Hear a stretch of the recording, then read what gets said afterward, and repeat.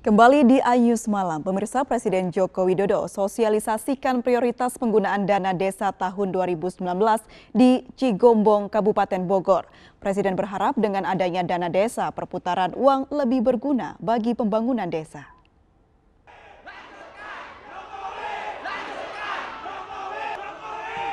Presiden Joko Widodo melakukan kunjungan kerjanya di Cigombong, Kabupaten Bogor, Jawa Barat. Presiden kali ini mensosialisasikan prioritas penggunaan dana desa 2019.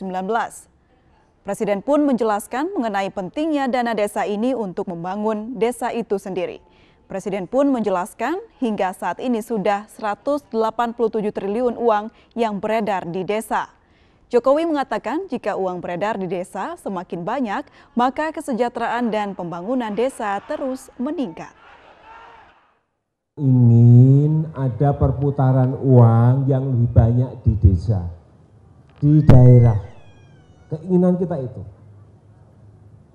Jadi sampai saat ini sudah 187 triliun uang yang beredar di, di desa.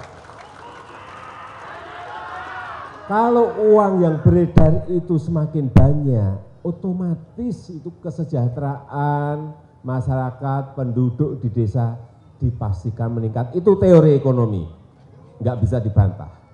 Oleh sebab itu saya titip yang pertama, dana desa itu digunakan untuk hal-hal yang fokus diperlukan di desa itu.